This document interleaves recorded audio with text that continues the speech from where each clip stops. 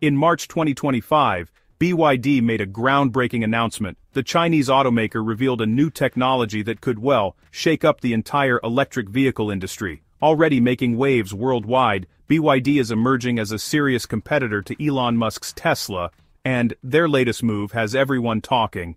The buzz centers around BYD's cutting-edge hybrid system set to launch in 2025 called the 5th Generation DMI. It's a breakthrough that could outshine today's technology and honestly, transform the EV market. So, what is the 5th Generation DMI hybrid system? Simply put, it's BYD's signature hybrid technology, combining both an electric motor and a petrol engine. For shorter everyday trips, the electric motor takes the lead, keeping things clean and efficient. For longer drives or when the battery runs low, the petrol engine kicks in seamlessly. The fifth generation version launched in May 2024 is BYD's most advanced yet. When running on petrol, the system consumes only 2.9 liters per 100 kilometers, which is an incredibly low figure. Add in the astonishing combined range of up to 2,100 kilometers on a full tank and fully charged battery, and you've got a vehicle that can go from New York to Miami and back without stopping once for gas or charging. This is possible thanks to a dedicated 1.5-liter turbocharged engine paired with BYD's renowned Blade battery, known for its durability and safety. Combine that with high-performance electric motors and advanced silicon carbide power chips, and the result is a hybrid system that's efficient, powerful, and built for the future. Compared to Toyota's well-regarded hybrid systems, BYD's DMI-5 pushes things further, delivering lower fuel consumption and a longer electric-only range. No wonder it's becoming a favorite not just in China, but globally.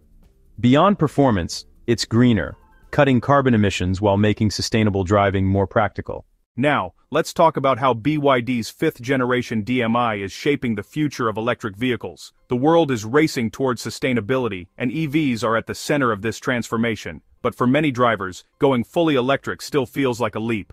Whether it's the fear of running out, dumbing out of charge, high upfront costs, or limited charging stations, that's where BYD's hybrid system changes the game. With its impressive 2,100 kilometer range, smart hybrid setup, and affordable price, the DMI makes electrified vehicles accessible to more people than ever before. One of the biggest barriers to electric vehicle adoption is range anxiety. This is especially true for drivers in regions with patchy charging infrastructure, like parts of Southeast Asia, South America, or even some rural areas in Europe and Australia. BYD's hybrid system completely eliminates that worry. And speaking of affordability, the DMI isn't just about going farther, it's about making cleaner driving affordable. Fully electric cars can be pretty expensive, often tens of thousands more than petrol cars. But BYD is changing that, their hybrids are not only greener, but also cheaper. Take the BYD Seal 05 DMI for example. In China, it starts at a competitive price, making it as affordable or even cheaper than many gasoline-powered cars. This affordability is a big deal, especially when you pair it with government incentives in places like China and Europe. Subsidies and tax breaks are really pushing more people to go green. By lowering the financial barrier, BYD is making it easier for everyday drivers to join the EV revolution. Now, hybrids like the DMI also serve as the perfect stepping stone between traditional petrol cars and fully electric vehicles. Not everyone is ready to go all in on EVs, whether it's because of cost, charging infrastructure, or simply the comfort of filling up at a gas station, the DMI bridges that gap, offering the efficiency and electric driving experience of an EV with the reassurance of a petrol engine for those longer trips. This flexibility is absolutely key in regions where charging networks are still developing. No surprise then, that BYD's hybrids are gaining traction in places like Thailand, Brazil, and Australia, where drivers want greener options but still need practicality. In the United States, surveys show many drivers actually prefer hybrids over fully electric cars. This trend is pushing companies like Toyota, Hyundai and BYD to double down on hybrid technology. While Tesla continues to focus only on EVs, hybrids are proving especially popular in regions where charging stations are still limited. BYD's DMI system found in models like the Seal 07 and Tang DMI is really raising the bar. These hybrids are fast, stylish, and equipped with advanced features like Urban Navigate on autopilot, which allows for semi-autonomous city driving. Toyota and Hyundai are also rolling out competitive hybrids, and their lower prices are making customers think twice about Tesla's lineup. This growing demand could shift the balance in markets like Asia and Latin America. Global trade also plays a role. In the United States, high tariffs are keeping Chinese-made cars like BYDs out of the market, which benefits Tesla since it still holds a strong share of EV sales. In Europe, tariffs exist too, but BYD is working around them by building factories locally. At the same time, Tesla's sales in the region have slowed, creating opportunities for other automakers to step in.